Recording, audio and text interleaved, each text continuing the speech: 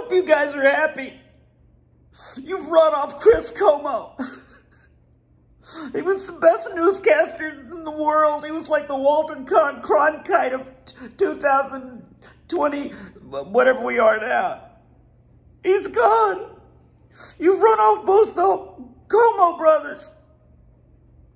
What could we do without the Cuomos? I'm a homosexual.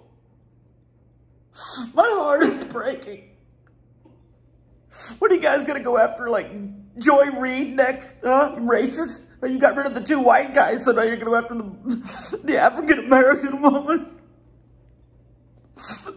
My nose running. I'm sorry. I'm just so upset. When are you gonna go after Brian Stelter? We start calling Mr. Potato Head or whatever you call him. Mr. Potato Head has to go next. That's what I'm saying. Mr. Potato Head, he's gotta go. I don't even want to live in this world anymore.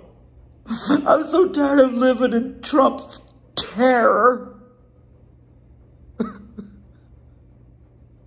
this is all Trump's fault. He probably ordered them to be fired.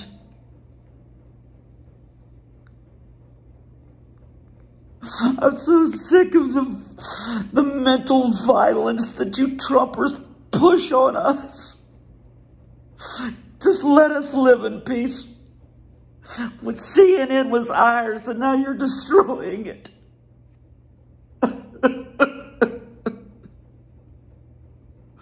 what are you going to go after The View next? Huh?